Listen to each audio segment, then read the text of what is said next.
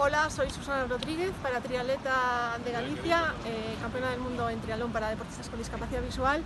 Y este vídeo es para ti, Amaya Valdemoro, para desearte la máxima suerte en el Camino de Santiago que vas a realizar en los próximos días, eh, enmarcado en el proyecto El Camino de Santiago termina en, acaba en Obradoiro.